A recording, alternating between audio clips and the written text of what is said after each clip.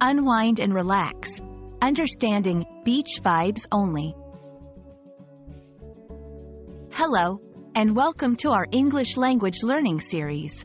Today, we're going to explore a fun and laid-back expression, beach vibes only.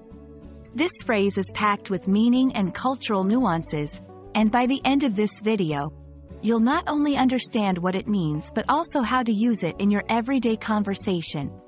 So, let's dive in and ride the wave of learning together. Beach vibes only is a phrase that combines two concepts, beach and vibes. Let's break it down. 1. Beach. This word instantly brings to mind images of sand, sun, and waves. It's a place associated with relaxation, fun, and natural beauty. 2. Vibes. Short for vibrations. Vibes refer to the mood or atmosphere a place, situation, or person gives off. It's often used to talk about the feeling you get from being in a certain place or with certain people. When combined, Beach Vibes evokes the relaxed, cheerful, and carefree atmosphere you'd experience at the beach. Adding only to the phrase intensifies it, suggesting that nothing but this relaxed state of mind is acceptable or desired. The phrase, beach vibes only, is more than just a statement about personal preference. It represents a broader cultural trend valuing relaxation, positivity, and a stress-free lifestyle. Here's how it's typically used. 1. Social media.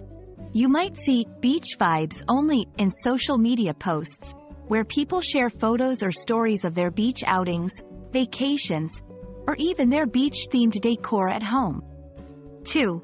Events and gatherings. At parties or gatherings, especially in the summer, beach vibes only can be a theme or a dress code, encouraging guests to dress casually and comfortably, embracing the laid-back beach atmosphere. 3. Personal mantra.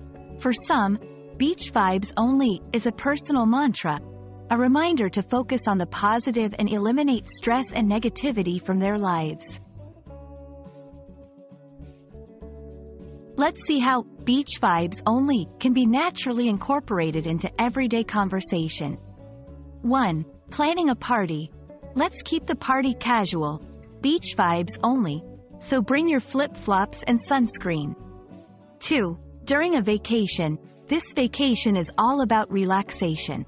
Beach vibes only. No checking work emails. 3. Decorating a room. I'm redecorating my living room to make it a stress-free zone. Thinking of going with beach vibes only, with lots of blues and sandy tones. And that's a wrap on Beach Vibes Only. We hope this video has not only enlightened you about this cheerful and laid-back phrase but also brought a bit of the beach's soothing atmosphere into your day. Remember, language learning is not just about words, it's about understanding the culture and emotions behind them. So, until our next video, keep the positivity flowing, and embrace those beach vibes in your life.